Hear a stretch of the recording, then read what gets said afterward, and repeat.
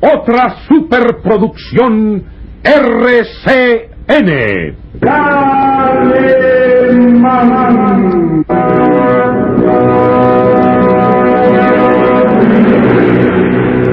Caballero con los hombres. Galante con las mujeres.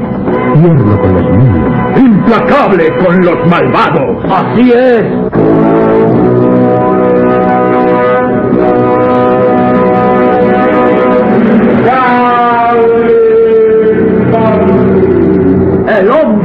Increíble.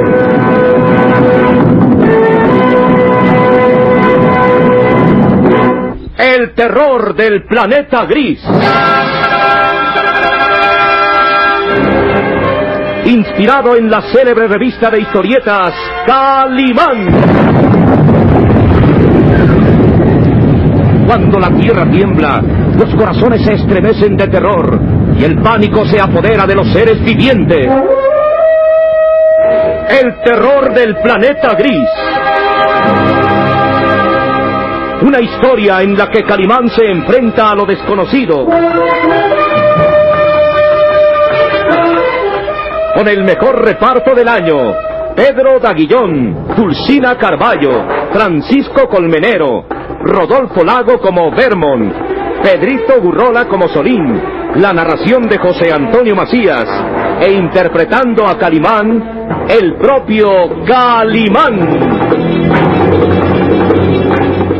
en una adaptación del escritor internacional Ken Uribe a la obra literaria de Rafael Navarro y Modesto Vázquez.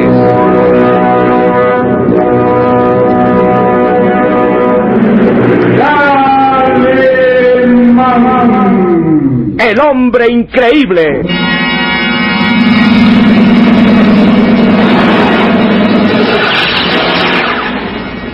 Amenazas ciertas, próximas, casi inminentes que se están cerniendo sobre una humanidad cada vez más numerosa y más ciega, extraviada en el laberinto de sus egoísmos e intereses materialistas, que no alcanza a percibir el futuro aterrador y sus siniestros secretos.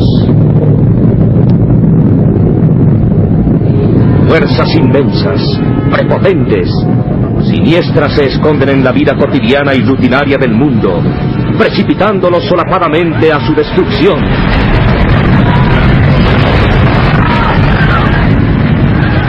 la lucha será titánica, monstruosa y desesperada.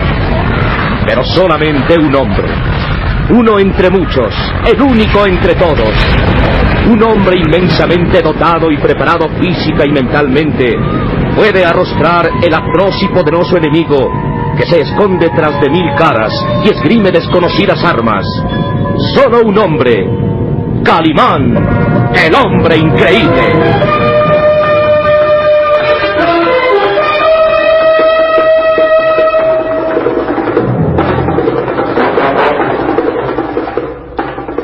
Esa noche de un 20 de junio, por la accidentada carretera que conduce entre vericuetos de curvas y bifurcaciones, desde un poblado de California hasta cierto lugar escondido entre montes, va un auto a toda velocidad.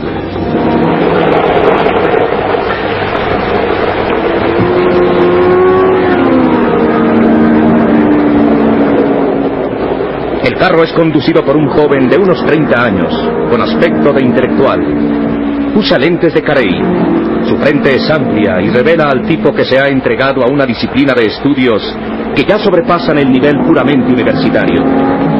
Tiene la nariz ligeramente aguileña y sus rasgos denotan firmeza y seguridad. Cuidado, James. Tranquilo, doctor. La marcha se hace cada vez más dificultosa, no solo por lo intransitable del camino, sino por la copiosa lluvia que está cayendo, formando un telón líquido delante de los ojos del que guía. A su lado va un hombre de edad madura. Muestra una gran calva y sus ojos pequeños y nerviosos otean la oscuridad, rasgada a intervalos por los relámpagos. El auto da tumbos en aquel lodazal y por encima de pedruscos. Maldita tormenta inoportuna. Y nos sorprendió en este camino endiablado. Se ha arrancado a una vieja estampa del oeste. Es un sendero difícil. Y con la velocidad que llevas. Realmente es un camino casi intransitable, doctor. Las llantas patinan en cada curva. Pues deberías aminorar la marcha, James. Si usted lo quiere. No, no, sigue así. Tenemos que llegar a tiempo a esa reunión. Nos arriesgaremos ahora cuando la situación se está volviendo más extraña, más terrible. Pienso lo mismo que usted. ¿Crees que llegaremos a esa casa? Naturalmente. Solo tenemos que continuar por este camino. Si se le puede llamar camino. Más bien parece una brecha abierta entre montañas rocosas. ¿Cómo tuvo ese tipo la ocurrencia de citarnos ahí? Vanessa no me lo explicó en su llamada telefónica, a eso de las cuatro de la tarde. Pero supongo que ese funcionario del departamento tuvo sus motivos. Un lugar apartado, lejos de toda ciudad. Sí, es posible. El tipo quiso ocultarse, doctor. Celebrar nuestra reunión de la manera más discreta posible, a fin de evitar burlas. Sonrisas de incredulidad, críticas de otros sectores gubernamentales. Las teorías de usted, doctor Dreyfus, son... No, no son simples teorías, Berman. Y tú casi lo sabes también. Aunque todo está todavía envuelto en un misterio tenebroso, mis estudios, mis observaciones me llevan a la convicción de que es una realidad terrible. Los alcances aún no puedo predecir, pero... eh, pero que amenazan espantosamente al mundo. Tal amenaza se ha cernido desde hace mucho tiempo, mucho, cien, doscientos años. Cálmese, doctor. Cada vez está más próxima, es más inminente. Si no logramos averiguar cómo, cómo se produce, por qué, Doctor Dreyfus, si no conseguimos llegar al fondo de este misterio, desentrañarlo y conjurar el espeluznante peligro que se cierne sobre la Tierra cuando... ¡En el camino de enfrente! ¿Qué hay ahí? ¡Caramba! ¡Dios! ¡Es un... es un monstruo! ¡Un monstruo!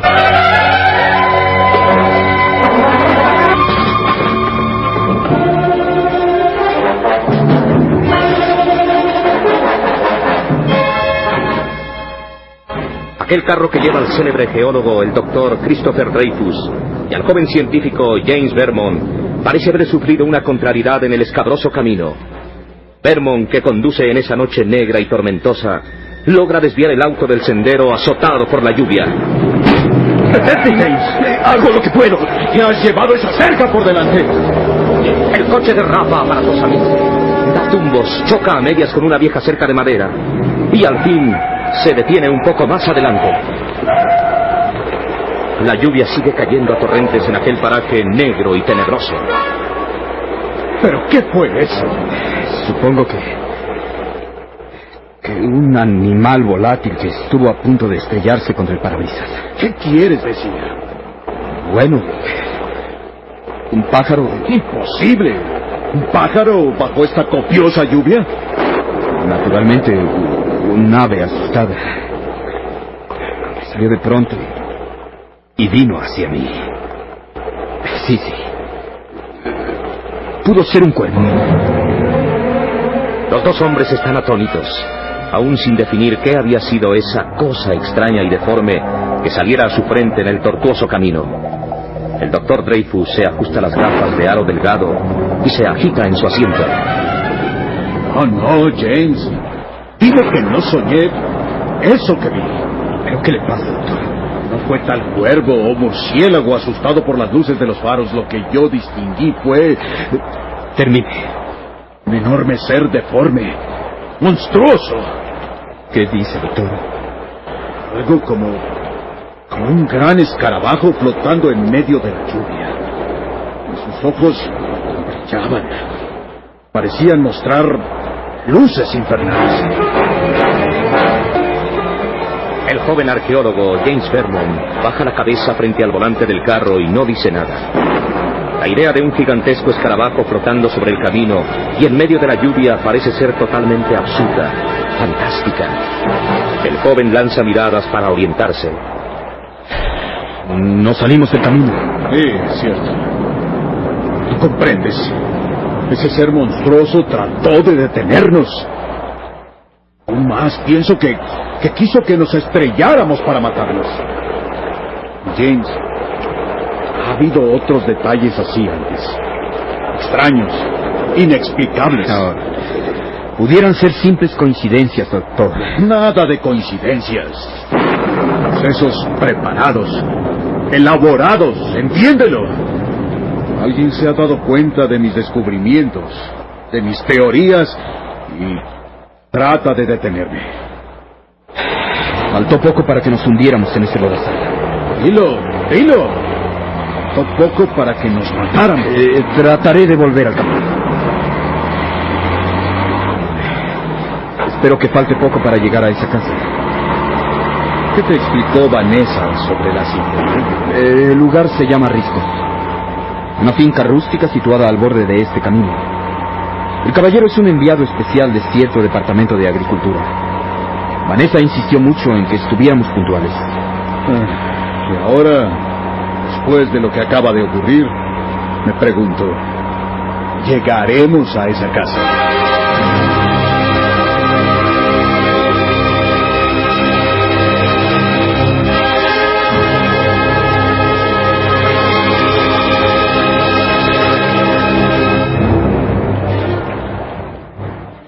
Simultáneamente, no lejos del camino por el que van el doctor Dreyfus, reputado geólogo de cierta universidad de California, y su acompañante, Lo más seguro es que esta tormenta los haya demorado un poco, señor ingeniero. Pero ya no deben tardar. Eso espero, señorita Brooke. No quisiera desvelarme porque mañana tengo que salir muy temprano. Estarán pronto aquí. Esta lluvia fue un contratiempo. Asomándose por una de las ventanas de cierta casa rústica pero confortable, situada en un recodo de aquel sinuoso camino, una joven de aspecto distinguido vuelve a correr la cortina y avanza en el interior de la sala. El doctor Dreyfus y James vendrán. Esté seguro de ello, señor Graves. Muchas cosas importantes del futuro dependen de esta entrevista. Quizá el futuro de este país y de la costa donde nos hallamos, California. Tal vez la vida de millones de seres humanos. Millones.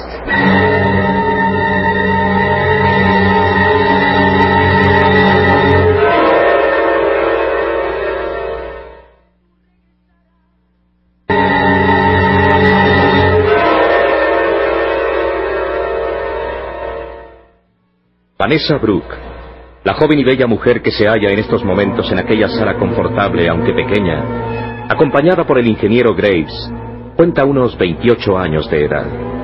Es distinguida, alta, de ojos claros y pelo castaño.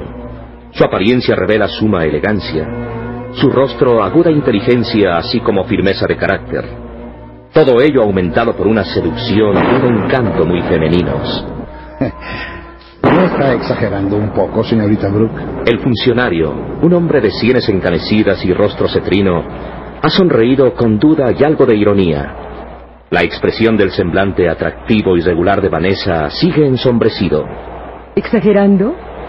Puede creerlo así, ingeniero. Pero yo puedo jurarle que es la verdad sin exageraciones. Usted consiguió esta entrevista para el doctor Dreyfus, señorita. ¿Quién es él? ¿Cómo? ¿No conoce al doctor Dreyfus? Christopher Dreyfus, uno de los geólogos y sismólogos más reputados de California. Ah, disculpe, no estoy interiorizado con la vida científica y universitaria. Dreyfus, hombre científico por excelencia en su especialidad. ¿Dije que goza de fama en California? Pues no. No, es famoso en todo el mundo. Sus estudios han sido lanzados en varios congresos europeos y asiáticos. En Alemania y en el Japón lo consideran la más alta autoridad en su materia. Ah, Sí, sí, sí, sí. También esos estudios han llegado a Washington, con solicitudes anexas. Bastante abundantes, por cierto. Entonces usted está enterado. Ah, hasta cierto punto. Usted sabe que la burocracia tiene sus, eh, sus naturales limitaciones. Claro, bastantes limitaciones. Eh, Quiero decir eh, que no podemos atender a todas las opiniones y solicitudes porque nos volveríamos locos. Por supuesto, señor Graves. Usted acudió a Sacramento pidiendo esta junta especial. ¿Qué es usted, el doctor Dreyfus? Solamente su ayudante, su exdiscípula en la universidad. Ah, una joven científica. Gracias. Pecaría de falsa modestia si negara este calificativo. Tengo tres diplomas y obtuve mención honorífica. Admirable. Una ayudante tan joven y tan bella. Vuelvo a agradecérselo, señor Graves. Usted también tiene una casa de campo muy bella, aunque bastante apartada. Ah, sí, sí. Es un refugio, ¿saben? Suelo venir aquí los fines de semana desde Sacramento. Me pareció excelente la idea de celebrar aquí la reunión, ingeniero. Lejos de intrigas, periodistas curiosos o círculos burocráticos adversos. Fue la sugerencia que recibí de mis superiores, señorita. Aunque... Bien. Bien, eh, tenemos la limitación ya expresada, el tiempo. En concreto, el doctor Dreyfus pretende una subvención gubernamental para ampliar sus experimentos. Para abreviar, ¿podría explicarme qué experimentos son esos? ¿Los conoce? Completamente y a fondo. claro, una ayudante tan eficiente como usted. Eh, pero preferiría que lo oyera todo de, de labios del doctor Dreyfus. Ya no debe tardar. Le envío un mensaje urgente con mi prometido, el profesor Berman.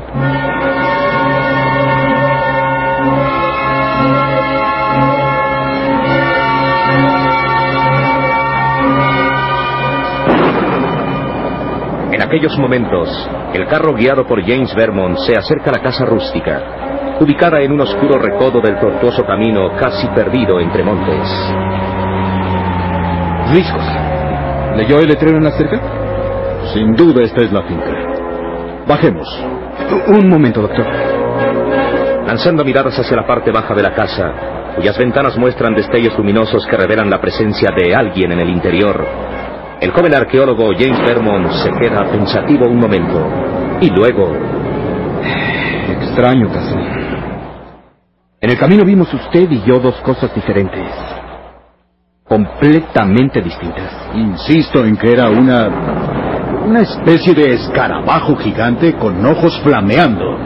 Un monstruo. ¿Cómo es posible? Yo percibí alas. Un cuervo o un murciélago. James, estás perdiendo la vista a tu edad.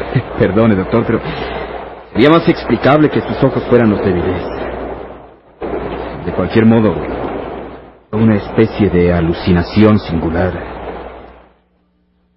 Sería preferible no mencionarle nada de este incidente a Vanessa, ¿quiere? ¿Para qué inquietarla con conjeturas inútiles? Sí, sí, te entiendo. Por otra parte, adentro está un enviado del departamento, un empleado importante que tiene que ser incrédulo, escéptico. Si hablamos de esa experiencia del camino, pensaría que estamos chiflados. Mala manera de convencerlo de que el gobierno nos preste ayuda. De acuerdo. Sin embargo, lo repito. Están sucediendo cosas extrañas, James. Han pasado detalles que... Bueno, presiento que alguien sigue de cerca el progreso de mis investigaciones y trata de oponerse a ellas, de frustrarlas. Enemigos ocultos. Fuerzas poderosas. Enigmas inquietantes. Enigmas. ¿Cómo aclararlos? Doctor, sé de un hombre que podría ayudarnos. ¿Un hombre? Sí. Un ser extraordinario. He oído hablar sobre él maravillas. Se llama Calimán.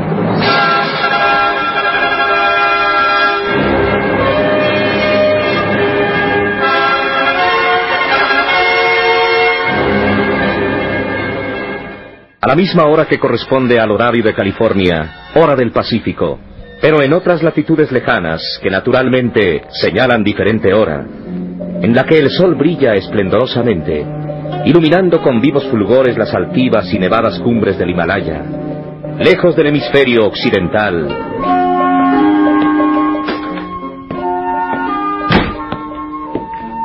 Bueno, he ordeñado otra vez esa cabra. Ay, ¿Cómo se resiste? Te traje este cubo de leche, Calimán. ¿No me oye, señor? ¿Eh? Ah, disculpa. ¿Cómo dices, Salim? Que he ordeñado esta leche para ti. ¿Qué tanto miras por la ventana del albergue? Las cumbres del Himalaya, tan cerca del cielo, tan lejos de la tierra. Y aquí estamos, Salim. ¿Quién nos reservará el destino en esta ocasión?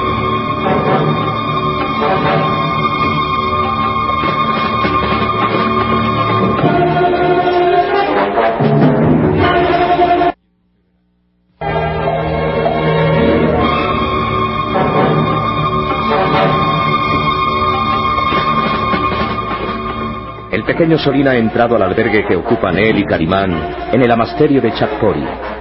Desde la ventana, el hombre increíble puede contemplar el caserío que se extiende por la colina y más lejos, la soberbia mole del templo de los lamas. Solín lleva en la mano una cubeta con leche que está a punto de colocar encima de una mesa enana. ¿Qué nos reserva el destino? Bueno, esa respuesta la tiene el propio destino, ¿no lo crees? Te decía de esta leche que acabo de ordeñar. Calimán. Ay, Solín, ¿qué te pasa? Oh, señor. ¿Has dejado caer toda la leche, Solín, y se derramó? De repente, Solín suelta la cubeta y la leche se desborda sobre el rústico piso. El muchacho se ha puesto a temblar como un azogado. Solín, ¿te has puesto enfermo? No sé qué tengo, Calimán. Una sensación espantosa, muy rara. Ah, serenidad, contente. Los animales, los animales están lanzando sus voces. Por Alá Todopoderoso, me siento como poseído por... Esos animales domésticos. Estoy sacudido como por electricidad. Eh, procura acostarte. No, no puedo, no puedo, señor. Me sacuden. Ah, ¿Qué dices, Solín? No es de adentro de mí, es de afuera. Algo está sucediendo. Ah, imposible negarlo. Esa percepción en ti, esa alarma en los animales. ¿Oyes? ¿Oyes ese ruido? Algo está sucediendo, Calimán.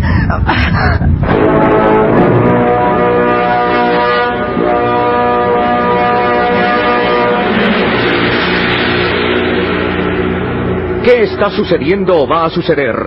¿Cuáles son los descubrimientos terribles del doctor Christopher Dreyfus?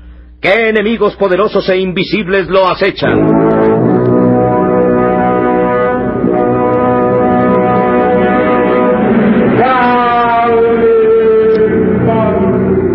En nuestro próximo programa habrá más emoción y misterio en...